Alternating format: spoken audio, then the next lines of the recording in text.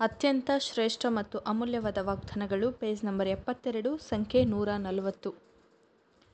ನನ್ನ ಕುರಿಗಳು ನನ್ನ ಸ್ವರಕ್ಕೆ ಕಿವಿಗೊಡುತ್ತವೆ. ನಾನು ಅವುಗಳನ್ನು ಬಲ್ಲೆನು, ಅವು ನನ್ನನ್ನು ಹಿಂಬಾಲಿಸುತ್ತವೆ. ಯೋಹನ ಹತ್ತನೇ ಅಧ್ಯಾಯ ಇಪ್ಪತ್ತೇಳನೇ ವಚನ. ತಾವು ಕರ್ತನ ಕುರಿ ಮಂದಿಯ ನಿಜವಾದ ಕುರಿಗಳು ಎಂದು ಅನೇಕರು ಹೇಳುತ್ತಾರೆ. ಆದರೆ ಕುರುಬನ ಪ್ರಸನ್ನತೆಯ ಈ ದಿನದಲ್ಲಿ ಆತನ ಸ್ವರ ಮತ್ತು ಸತ್ಯದ ವಿಚಾರದಲ್ಲಿ ಪರೀಕ್ಷೆಗೊಳಗಾಗುವರು. ಎಂದೂ ಇಲ್ಲದ ರೀತಿಯಲ್ಲಿ ಕುರಿಗಳನ್ನು ವಿವಿಧ ದಿಕ್ಕಿನಲ್ಲಿ ಕರೆಯುವ ಸ್ವರಗಳನ್ನು ಈಗ ನಾವು ಕೇಳುತ್ತೇವೆ.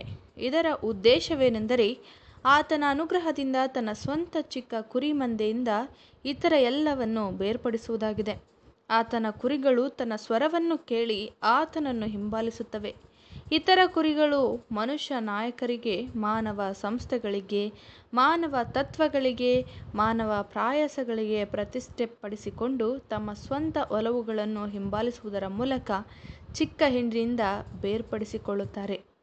ಇದು ಈಗ ಕರ್ತನಿಗೆ ಸಂತೋಷ ಉಳ್ಳದಾಗಿದೆ ಆಮೆನ್.